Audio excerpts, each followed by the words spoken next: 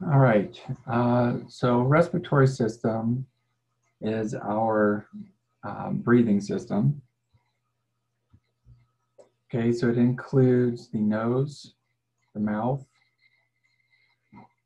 the pharynx, larynx, trachea, which is your windpipe, the bronchi, and the lungs. Inside the lungs, you have the site of actual gas exchange, which is the alveoli.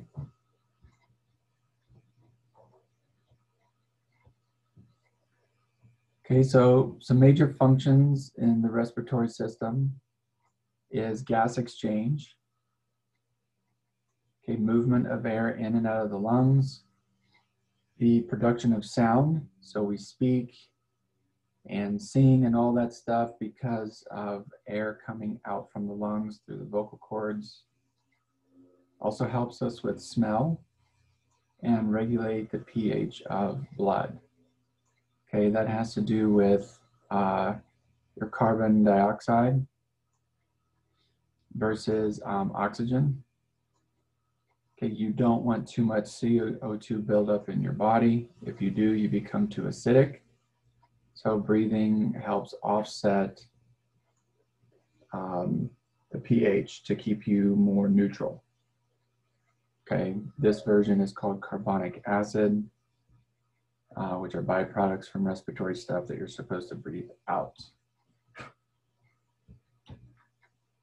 Okay, the upper respiratory tract, so we have upper and lower. Okay, so the upper is the nose, nasal cavity, paranasal sinuses, and the pharynx. Um, so in a way, uh, you can kind of draw a line around the area of your throat and everything above that is upper respiratory tract and everything below that line is lower respiratory. Okay, so the nasal cavity is designed to warm the air and moisten it before it hits the lungs does function as a resonant chamber for speech. If you've ever had a stuffy nose, you know you sound funny. That's because uh, there's some inflammation going on in that resonant chamber. And also it's where in the nasal area, it contains olfaction, which is a fancy word for smell. Okay. So we are able to smell because of our olfactory nerve. Okay, the paranasal sinuses we found in the bones surrounding the nasal cavity. They also function as a resonant chamber. Okay, and then they warm the sinus area, moisten incoming air. And you have the pharynx considered throat. In lay terms, that would be the throat area which serves as a passageway for food and air. Food would go down the esophagus, air will go down the trachea or the windpipe. You also find your tonsils here. And you also find your ear tubes, the eustachian tubes will come in to this area. Okay, the lower respiratory tract is the larynx, the trachea, the bronchi, the bronchioles, and the alveoli.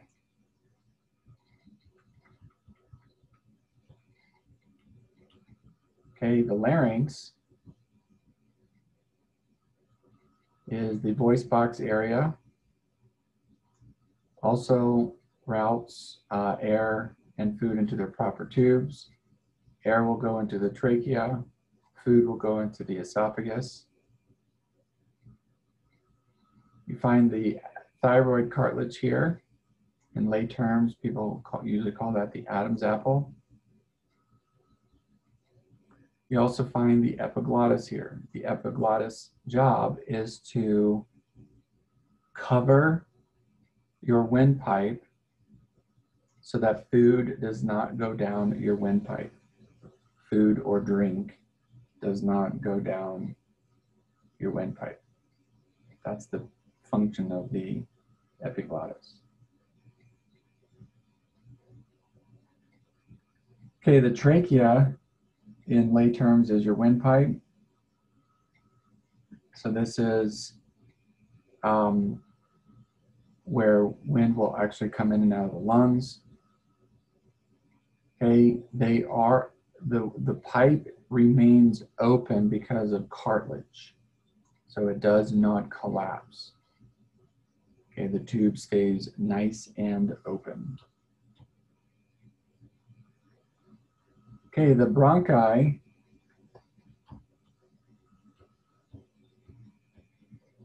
So this will help. Um, so here's the trachea, and then it splits into the right and left bronchi.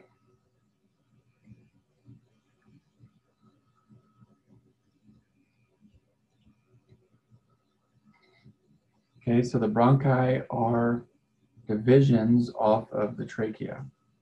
So we have a right and left primary bronchi. Primary because it's the first branch off of the trachea.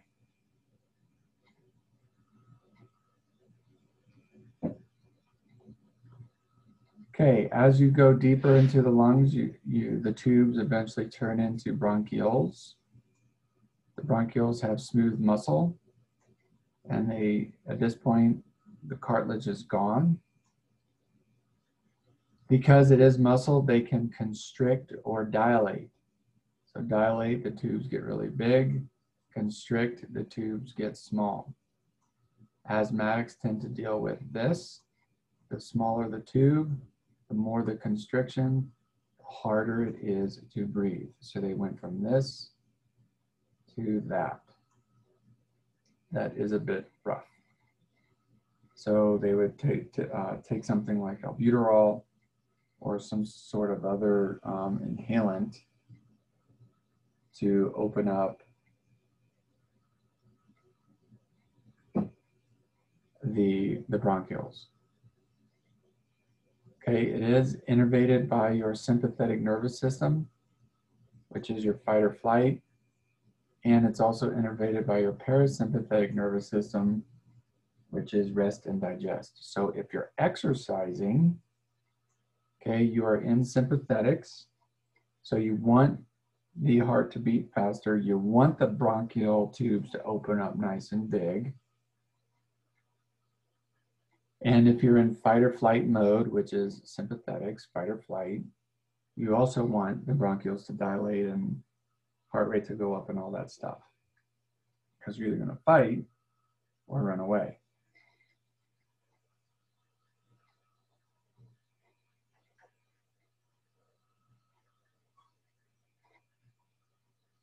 Okay, the alveoli is the site of actual gas exchange.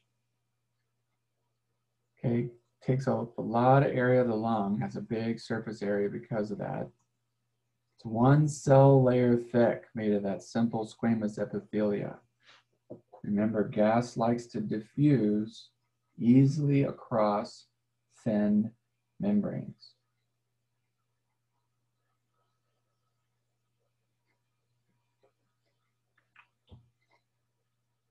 Okay, we do have a right lung and a left lung. So a right primary bronchus and a left primary bronchus. There's the trachea. Okay, so about that throat area, everything above it would be upper respiratory. Everything below it would be lower respiratory. Okay, so you're seeing the pharynx, back of the throat area. There's the tongue, Okay, oral cavity, nasal cavity. There's the diaphragm that allows for breathing to take place. It's a muscle that's responsible to help you breathe.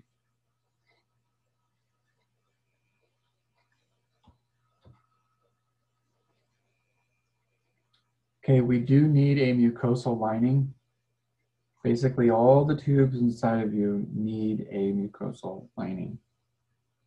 Your trachea, your esophagus, your stomach, your large intestine, your small intestine, and so on. Okay, if you lose your mucosal lining, you've lost some defense. Part of it, its job is defense.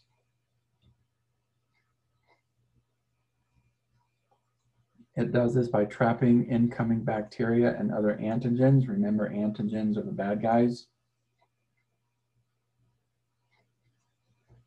Inside the trachea area, you find cilia, which are hair-like projections. All these tiny little hairs that line up along the length of the trachea. And these hairs, they move. And so they move particles away from the lung field. They move it up toward the mouth. Okay, so they move the contaminated mucus toward the throat, where you either swallow it and it's digested by stomach juices, or you spit it out. All right, now if you're not symptomatic, you know, people don't really walk around non-symptomatic, you know, going, and they don't really like spit like that because you're not symptomatic. So we just swallow. But part of that process is you are, whether you realize it or not, um, swallowing things that are coming up from the trachea that your stomach will then destroy.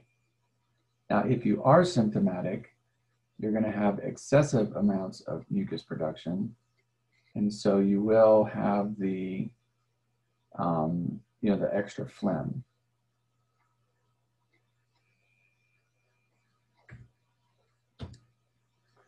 Okay, on your reading left there, this is a healthy lung. And on your reading right there, this is a smoker's lung.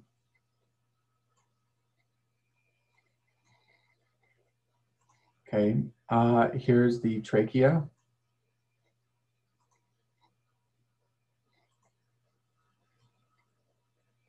Okay, there's the trachea, and then it's there's that right bronchi, and then the left bronchi tube, and then it splits into the secondary bronchi, and then it keeps dividing and dividing and dividing. And then all this area is where you would find the alveoli, site of gas exchange. Here's the heart. Okay, the heart has been opened up in a cross section, so you're seeing inside the heart. Okay, you're also seeing uh, the lungs on both sides. Okay, over here, it's a smoker's lung, and you can see all the uh, toxins and teratogens and damage and, you know, all the usual suspects that come from um, chronic smoking, long-term smoking.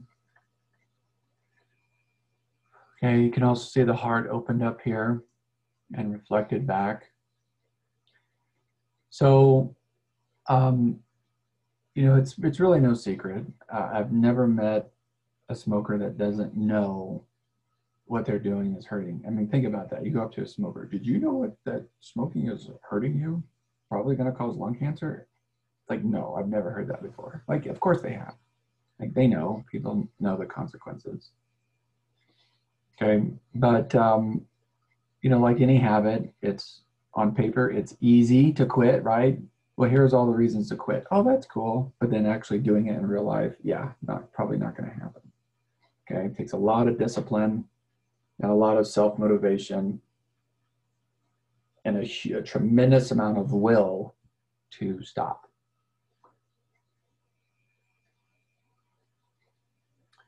Okay, so when it when it is cold outside, because we do have mucus inside the nose, the consistency of the mucus changes, so you start to get some of that mucus to flow out of the nose. We also have um, veins that are inside of your nasal area. The, the tissue inside is very thin, so the veins are very superficial, which means it will warm the air as it comes into the nasal cavity so it warms it before it gets to the lungs. Also makes it an easy site for nosebleeds because of how superficially loc the location of these blood vessels. Okay, the trachea is the windpipe. It is uh, held open by these C-shaped cartilaginous rings made of hyaline cartilage.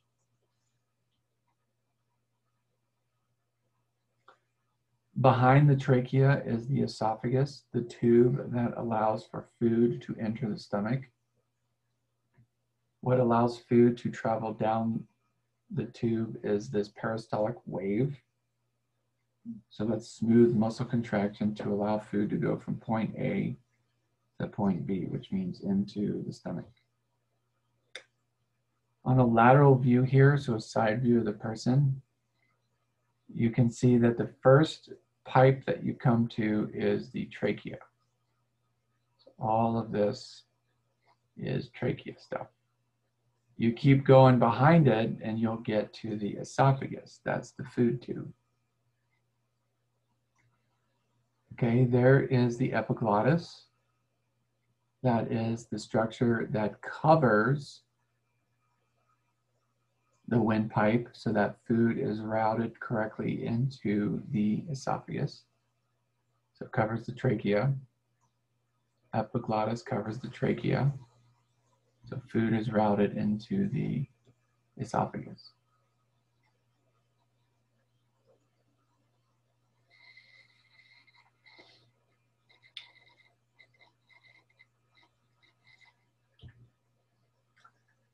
Okay, here's a top view. So we take a cross section through those tubes looking top down. You can see the hyaline cartilaginous rings that are keeping the trachea nice and open.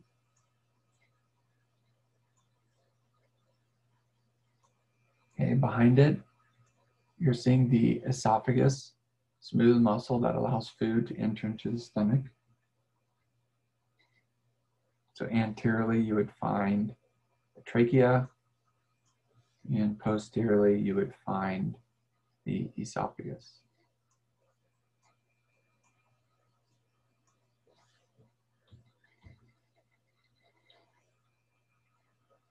Okay, the bronchi, which we looked at earlier, so you have the trachea that comes down and then splits into the right and left bronchi.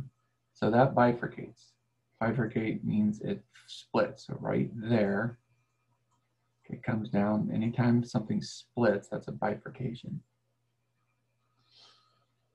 Okay, this enters into the hilus of the lungs. If you look at the lung field,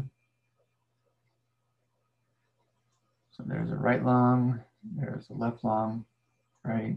So the windpipe comes in and goes into this area. That's the hilus of the lung. That's where all the incoming and outgoing tubes and pipes and wires and stuff come from.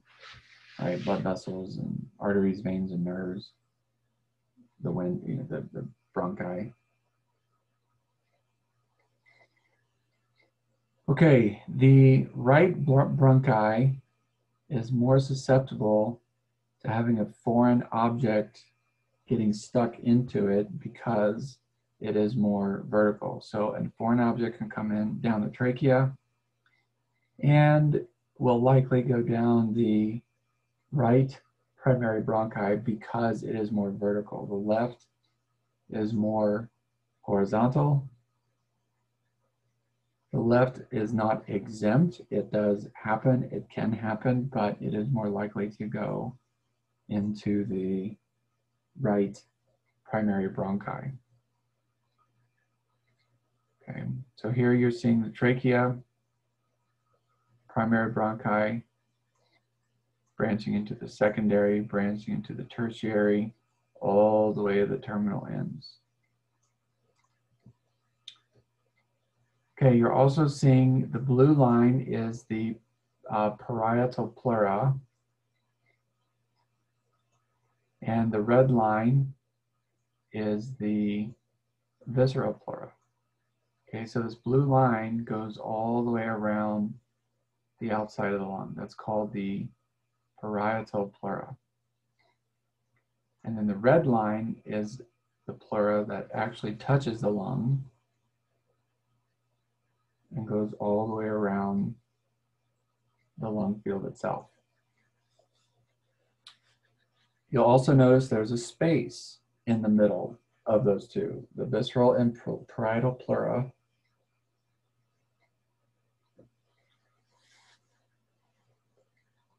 has a space called the pleural cavity. Serous fluid, So S-E-R-O-U-S, serous fluid, is found in that cavity, designed to reduce friction as the lungs are moving.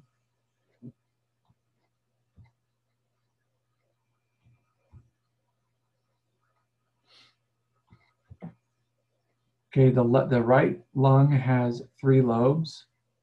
So there's lobe one, lobe two, lobe three. You can see where the lines create those divisions. The left lung only has two lobes, lobe one and lobe two. And you can see the line that separates those lobes. Okay, we have the apex and the base of the lung.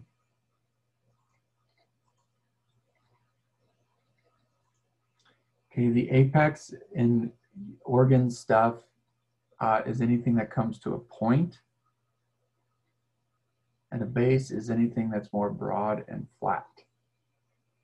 So that makes this the base of the lung. That makes this the apex of the lung. So apex,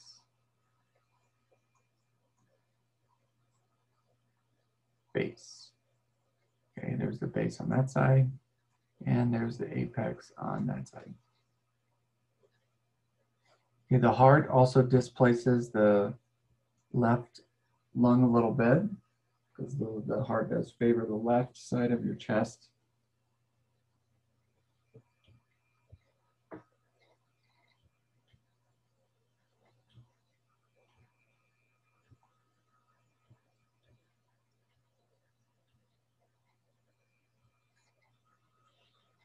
Okay, we have uh, different respiratory zones. Okay, once you get um, into that alveoli area, you're going to start to get into respiratory zones.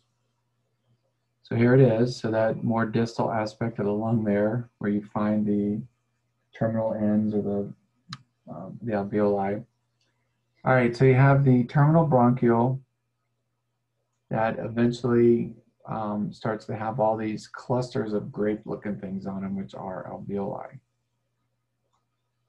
Okay, each one of those things is an alveoli. Um, so you have the, uh, the respiratory bronchiole, then the alveolar duct, okay, then the alveolar sac, and the alveolus. So those are the respiratory zones. Okay, when you zoom in and you cut these in half, you'll notice they are one cell layer thin. Allows for gas exchange very easily.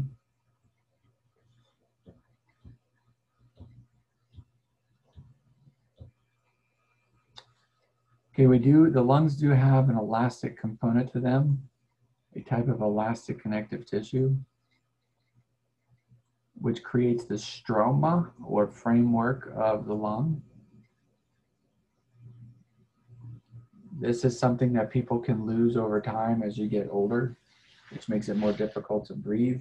Okay, so smoking would be, you would accelerate that process. Um, chronic reoccurring infections, breathing in harmful substances, like if you work in a coal mine, factories, dust, whatever sand.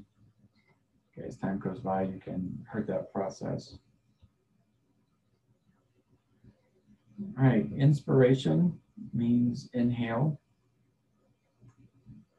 increasing the volume of the thoracic cavity.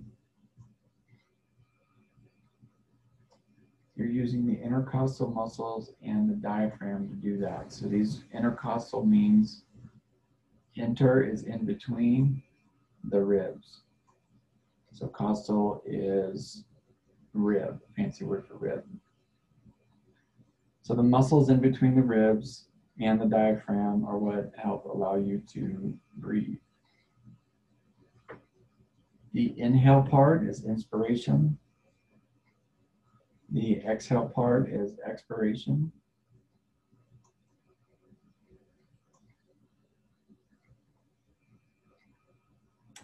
When you exhale, you are decreasing the volume of the thoracic cavity. Okay, also the elastic component of the lungs help you to recoil back to a resting position so that you can breathe again. Okay, when you breathe in, the ribs go up and out. Okay, so if you look at the diameter of this, it's a certain width. Then when you exhale, you look at the diameter of that. It's a smaller width. Okay, you can also see it here. Full inspiration, the ribs go up and out. And then full expiration, the ribs go down and in. Right, here's the intercostal muscles. You saw the red that you're seeing there. Intercostal muscles helps you breathe.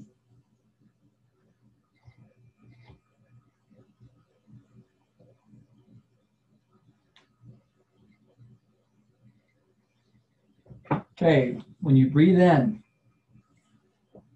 when you breathe in, diaphragm actually moves down. Diaphragm moves inferior, which increases the volume of the thoracic cavity.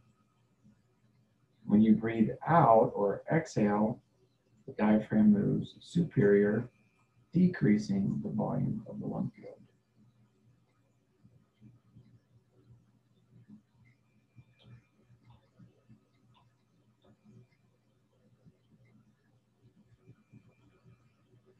Okay, the phrenic nerve, and write this down, comes from C3,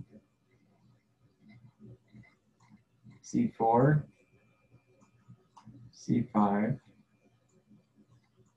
keeps the diaphragm alive. So the phrenic nerve innervates your diaphragm.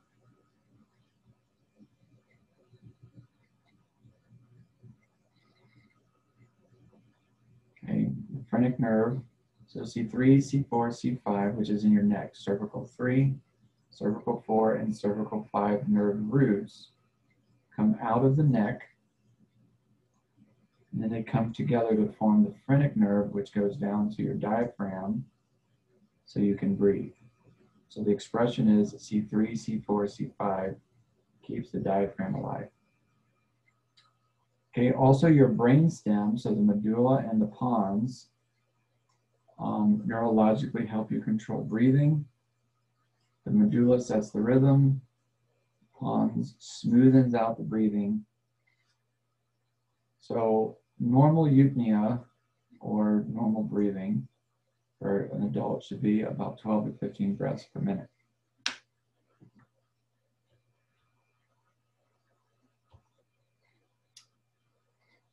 All right, so that you don't keep on breathing in, at some point the medulla just knows how to switch gears to allow you to go from inhale to exhale and then from exhale to inhale. So this is a major brainstem function through cranial nerve 10, also known as the vagus nerve. Okay, during exercise, we breathe heavier because the neurological signaling is faster. So when you're um, just sitting there at rest, right, you've got that neurological spark. But once you start exercising, the spark is faster, so it forces you to breathe faster. Okay, simultaneously, heart rate goes up, and then you're getting rid of all those byproducts, the carbon dioxide and so forth.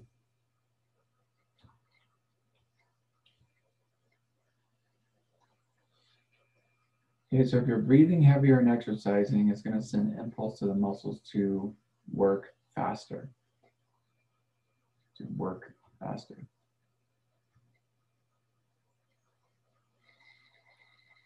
All right, here's the pons.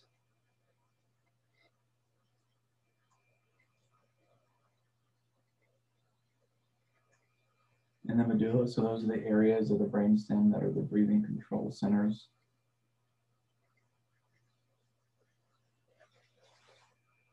Okay, so those nerves come out and go to your intercostal muscles and to your diaphragm. The neck muscles uh, excuse me, the neck nerves, which are C3, C4, and C5, become the phrenic nerve.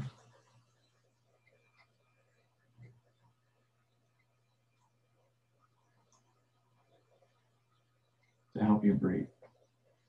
Okay, we have chemical receptors in our body called chemoreceptors. They are sensitive to changes in carbon dioxide, pH, and oxygen. Okay, so depending on the amount of levels of these in your body depends on how hard you're breathing at the time.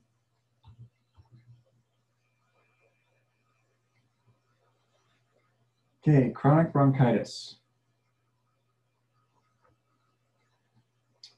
So chronic alludes to it's been there a while.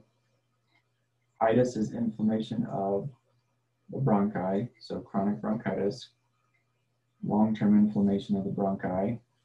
This is where the mucus of the lower respiratory passages becomes severely inflamed and produces too much mucus. All this mucus impairs ventilation and gas exchange. It also increases their chance for infection.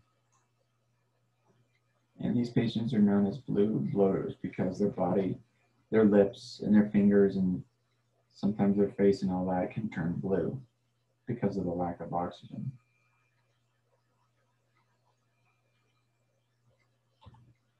Okay, emphysema is chronic inflammation and fibrosis of the lungs. Okay, so the lungs start to develop scar tissue, fibrosis. As a, re as a result, they become less elastic, especially during expiration.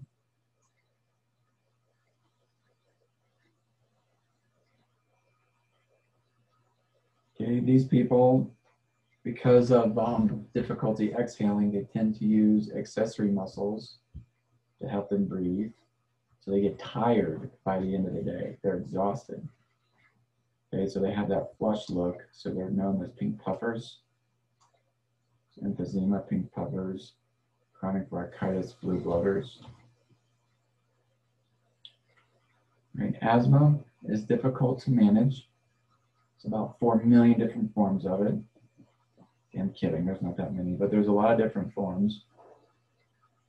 So it's hard to make a diagnosis, and sometimes uh, practitioners are reluctant to make a diagnosis because um, you know you can grow into it, you can grow out of it, things can change. Okay, but bottom line, it's a hypersensitivity in the bronchial passageway. Okay, and it can create um, the tubes to go from big and open to small constriction, making it difficult to breathe. So asthmatics have to be careful to try to avoid things that they know are going to provoke and you know make the tubes smaller. And they should also carry um, some sort of inhaler with them just in case they need it. Okay, TB is tuberculosis. This is a disease that can affect the lungs. Also pneumonia is a disease that can affect the lungs. These were pretty effective killers until a person took um, antibiotics, has decreased um, deaths from pneumonia and tuberculosis. Okay, now you can still die from it, but we also have better techniques today at saving you. Okay, if the lung collapses, that's called a pneumothorax. Okay, that pleura membrane we looked at earlier, the parietal and visceral pleura have been popped. Okay, they've been punctured from a knife wound, gunshot wound, fractured rib. Can also be spontaneous. Some people it is. Nothing happens, just popped. Okay, so the pleural membrane cannot function to increase the volume of the lung during inspiration. So the lung starts to collapse.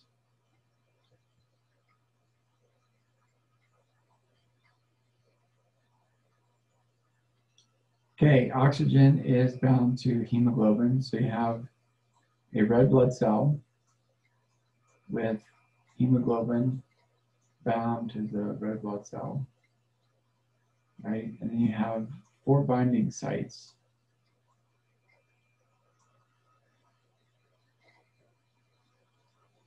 Okay, um, so even though that's a blood function, you still need the lungs to oxygenate it, right? So as hemoglobin is bound to the red blood cells and travels through the lungs, you're going to give up a CO2 and put an oxygen on that hemoglobin binding site. Okay, the, um, the oxyhemoglobin is the area that delivers, is the part of the hemoglobin that delivers oxygen to tissue. Okay, if oxygen is in high demand, it does go from a higher concentration to a lower concentration. Okay, any questions on any of that?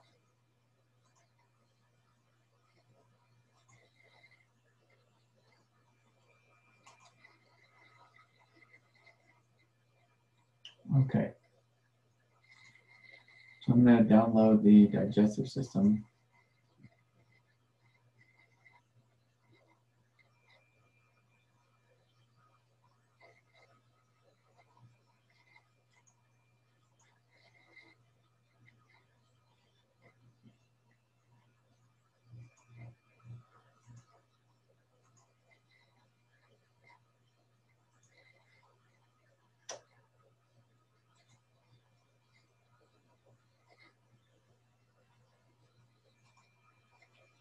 All right. So the digestive system has two parts to it, the alimentary canal and the accessory organs that go with it. Okay. The, al the alimentary canal, also known as the GI tract, ingests, digests, absorbs, and defecates all the stuff that you put into it. The accessory organs are everything that goes with it, such as the mouth, okay, saliva glands, um,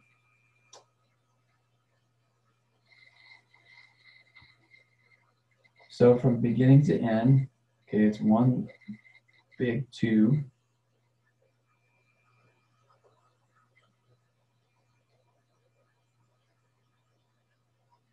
Okay, from beginning to end. Okay, that's the alimentary canal. All right, so certain parts, uh, we have the, um, you have your saliva glands, which help break down food, the esophagus, the food tube, the stomach,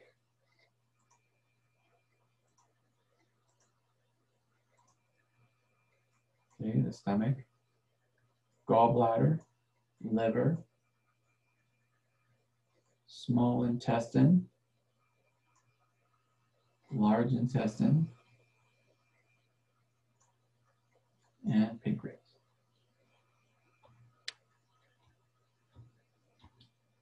Okay, so we ingest food, then you chew it for mastication. Then we propel the food through a peristaltic wave. The actual act of swallowing is called um,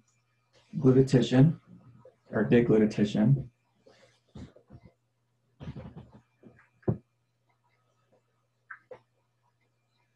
Okay, peristalsis is how food, now called a bolus, so once you chew it up and start to swallow it, now at that point it's a bolus. And it does move down your tubes via smooth muscle contraction and what's called peristalsis.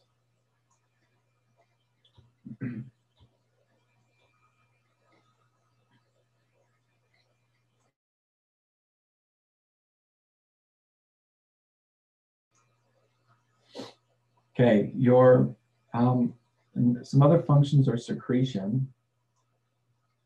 So like digestive juices, digestive enzymes, mucus, that will help lu- lubricate, liquefy, and digest the bolus.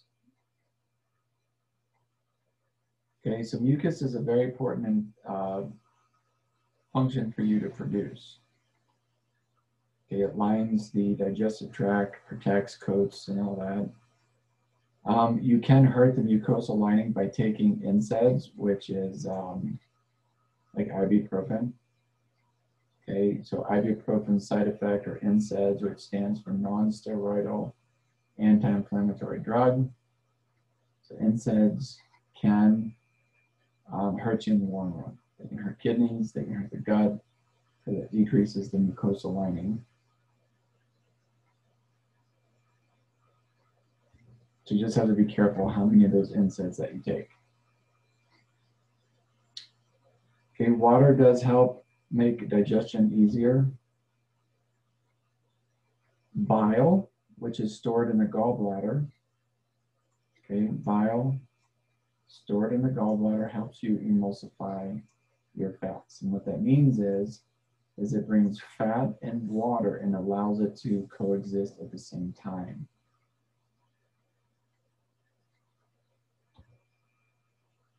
We do have different digestive enzymes that help break down food. Okay, we have mechanical digestion and chemical digestion.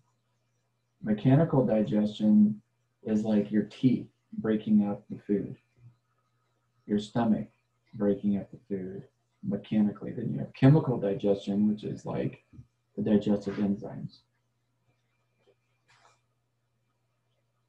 Okay, then you have absorption, which is movement of food. So at this point, the macro and micronutrients from the tract into circulation, so into your body. So your body can actually use it as nutrients to for growth and repair reasons. And then there's the elimination. So we do our, our bodies are capable of getting rid of byproducts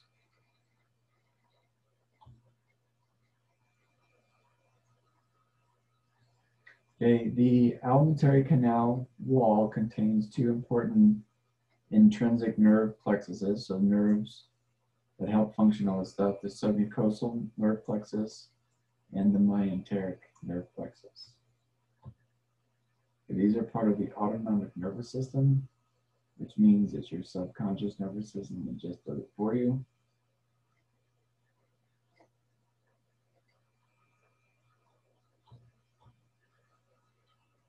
Okay, the stomach has four layers or tunics.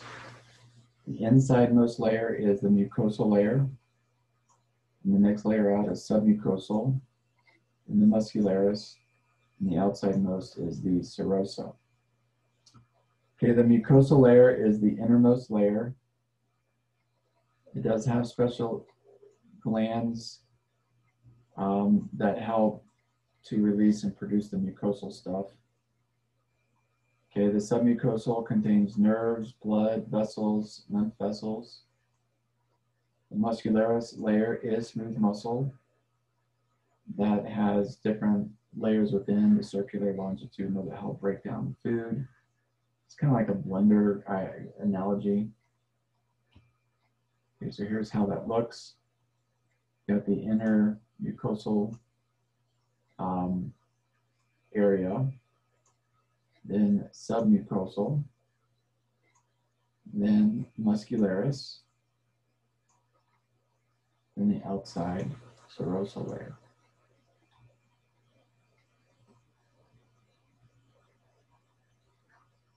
Okay, the enteric nerve plexus, also known as the bowel nerve plexus, detect changes in chemical composition, which means now you have the presence of food there which stimulates smooth muscle contraction. The central nervous system, which is your brain and spinal cord.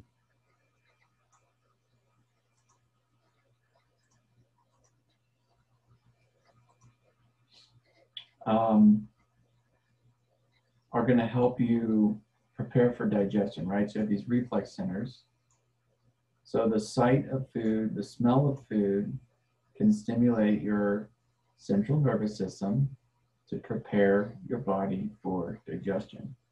Okay, that's a reflex. Right, the stomach is a, a C-shaped curve uh, organ.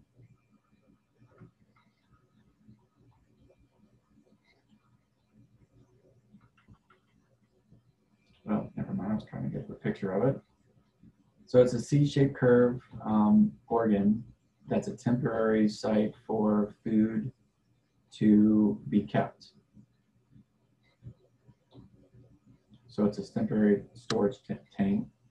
Also a site for additional food breakdown, both chemically and mechanically. So it churns it, it mixes it, pummels the food. Pretty much like your blender analogy, you can put it a whole apple, a whole head of lettuce, whatever. Just put all these whole foods in the blender, turn it on, and it liquefies it. It's pretty much what your stomach does. Okay, here it is. So here's the esophagus, the food tube that comes into the stomach. There's the fundus area of the stomach, greater curvature, lesser curvature. All those folds you're seeing is called rugae. That's what helps increase or decrease the surface area of the stomach. Toward the uh, distal end of the stomach, You've got the important structure called the pyloric sphincter. Okay, this whole area is the pylorus. Now, the reason why that's important is because you have all this food, now called chyme, inside your stomach. Okay, all this chyme inside. And that pyloric sphincter stays closed and it will only allow a certain amount of chyme to enter small intestine at a time.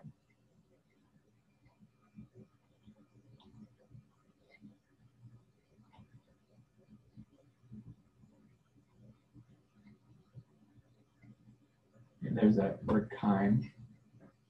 So once you introduce food into the body, and the stomach blends it down. It's now called chyme.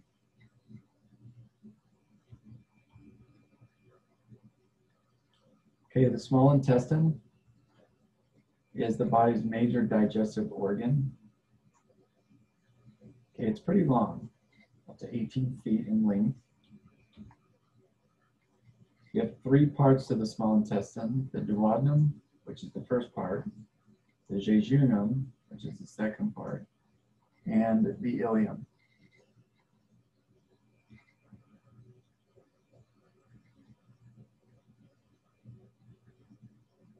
Okay, the pancreas does contribute to helping you break down food even more by releasing pancreatic enzymes that enter into the duodenum, which is the first part of small intestine.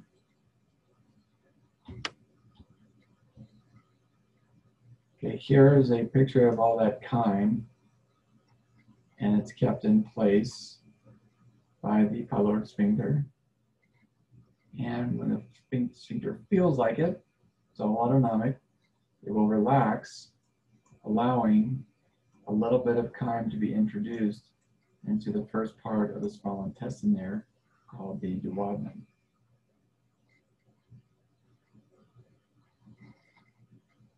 Okay, but so uh, by now all the chyme or that chyme stuff is right here. So a little bit of it is released. The presence of that stimulates the gallbladder to release the bile, stimulates the pancreas to release its pancreatic juices.